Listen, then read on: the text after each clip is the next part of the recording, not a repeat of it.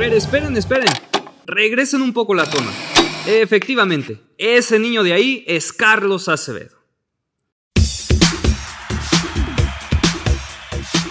Desde muy niño mi, mi posición principal siempre fue la portería. Digo, de vez en cuando también este, me iba a la delantera como, como cualquier niño, pero la realidad es que siempre fui, fui portero. Eh, en, mi colegio, en el Cumbres, ahí fue donde empecé yo a tener esa vocación de, jugador. Obviamente, pues desde niño, pues tú piensas que es algo amateur o que en los deportes o que estás con tus amigos, pero conforme va pasando el tiempo, pues bueno, empiezas a, tener un poquito más de, razón y, ves el estadio, y ves a los jugadores, ves al club y dices, ¿por qué, por qué no puedo estar ahí? Y así fue como poco a poco empezó esa historia de- en- en la portería. Servicio, el remate de cabeza Acevedo, contra remate Acevedo otra vez y después el disparo por arriba. Pónganle la capa de héroe a este chamaco. Qué manera de rajarse el alma en el área. Yo creo que es la posición más complicada de todas. Eh, igual como niño, pues tienes mucha responsabilidad, se te va un gol y pues pierde tu equipo.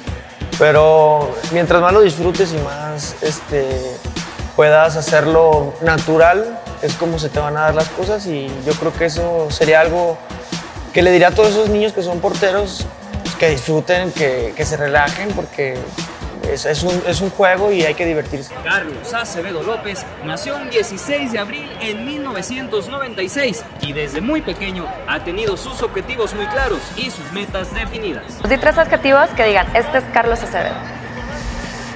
Guerrero, sin duda. eh, líder. Y. ¿Qué puede ser? Pues pun- pundonor.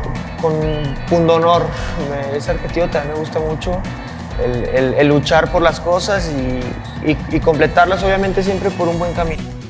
La popularidad del joven guardameta se desató por todo el país, pero ¿quién es realmente Carlos Acevedo López? Eh, me gusta divertirme mucho, sobre todo estar con, con mi familia. Eh, soy, soy una persona de, de casa que, bueno, tiene también su lado de niño, tiene ahí una que otra curiosidad. Pero bueno, un, chavo común y corriente, ¿no? Con, con- con sueños, con ilusiones y con una familia que lo apoya en todo momento y que estoy muy contento de poder estar con ellos. Justo mencionas mucho a tu familia. Yo quiero que me digas cómo eres cuando estás en casa, ya que no traes el uniforme de Santos, que estás en las cuatro paredes a gusto, en la comida de tu casa. ¿Cómo eres con tus papás? ¿Cómo eres con tus hermanas? ¿Qué lugar tienes tú en tu familia? ¿Eres el, el qué de la familia?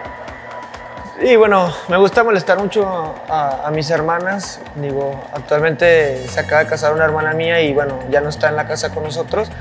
Pero por lo general siempre llegaba a molestarla. Y bueno, mi mamá también. eh, me gusta molestarlas, me gusta pasar un buen rato, reírme.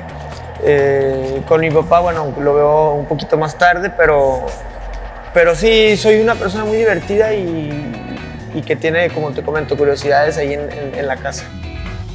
Esta es la, esta es la playera que me regalaron ahí en Monterrey. Sí, bueno, o sea, como curiosidad que tengo que poca gente conoce es que me gusta disfrazarme. Tengo muchos disfraces. ¿Halloween o 365 días del año? No, dependiendo, 24/7. dependiendo el, el humor. Ok. Me gusta disfrazarme, tengo diferentes tipos de disfraces y hago ahí mis shows. Obviamente nada más en familia y ahí se queda y se... Hablan, ya hablan, ya hablan de Carlos Acevedo, pero ¿de qué forma equivocada crees que te juzga las personas que no te conocen? Pues, Aparte de que eres gruñón. eh, Cara de, cara de sangrón primero, o sea, me topo aficionados y ah, yo pensé que eres bien sangrón. Ah, Bueno, siempre dicen que si no piensan que eres sangrón, fracasaste como guapo. Ah, bueno, entonces estoy bien en ese camino. Pero también la gente piensa que el tema de la estatura, siempre me tocan los aficionados de que, pensé que estabas más, eh, más chaparro, así. Como que tienen esa perspectiva, no sé si desde las gradas o desde la tele. Pero bueno, esa es la, manera en que me juzgan. Obviamente el pelo, los memes, ni se diga, pero los disfruto al máximo y me divierto también. Hace poco vi un video ahí de los lujos de, de Carlos. Vacaciones por Roma, Orlando o Madrid y un departamento de casi 300 mil dólares en Torreón son algunos de los lujos que se puede permitir Carlos Acevedo. Me río porque digo, pues ojalá los tuviera, digo, me encantaría tenerlos. Eh, que me la paso comiendo en los restaurantes más lujosos de, de Torreón. Digo, ah, claro que no. Digo, a veces sí me echo una cenita con mi familia o puedo cenar con alguien, pero ah, des- quedando des- despilfarrando el dinero y, nah, hombre, eso es lo que más me da risa y me da risa cómo, cómo lo, lo narro. Pero ya saliéndonos del mundo del fútbol y yéndonos así como algún personaje histórico en el cualquier ámbito que tú te imagines, que te digan, vas a tener una cena con esta persona, ¿con quién sería? No, tengo como tres. Yo A creo. ver, échalos, Tendría los que tres. decir Christopher Reeve. ¿Ok? Todos sabemos que es el Superman y que es eh, ese, ese actor que tuvo un, un, un accidente en, en un caballo y bueno, a pesar de, de- de su capacidad física siempre luchó por, por, por vivir. Entonces a Christopher Reeve hoy lo tengo en un pedestal. ¿Qué platicarías con él? No sé, o sea, es más, yo creo que ni podría hablar, me, me daría mucho Porque no hablo inglés. Ah, no cierto. No, sí, sí hablo. No sé, digo, cómo, cómo enfrenta su, cómo enfrentó su discapacidad, digo, de ser el galán número uno de Hollywood, el Superman literalmente, el que no le pasaba nada, a ser pues, esa persona que luchaba día, día tras día por, por poder comer, por poder expresarse. Entonces yo creo que hoy en día Christopher Reeve lo tengo en, en ¿Quién más? ¿Con quién más? Dijiste tres. Tengo tres, bueno, pues Elvis Presley también. Ok.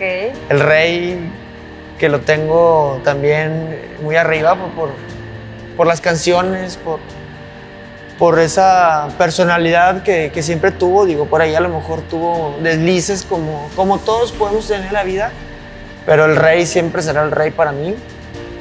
Y otro que a lo mejor no es tan conocido, pero para mí es muy conocido, es Patrick Swayze. Es un actor americano.